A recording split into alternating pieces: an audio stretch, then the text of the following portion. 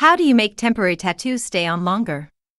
Keep the tattoo clear of clothing, water, or lotions. Use a soft brush, such as a makeup brush, to gently apply a thin layer of talc or baby powder to the surface of the tattoo. Repeat this step once a day for as long as you have the temporary tattoo. Avoid scrubbing or rubbing the tattoo while bathing.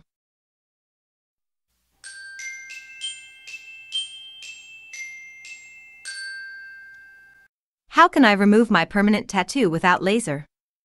Overall, to remove a tattoo without lasers, you can head to Tattoo Vanish. They will numb your tattoo area, bring the ink to the surface of the skin, and apply their ink eraser, all in under a half an hour. As I was saying, I will see you guys in the next video. Thanks for watching.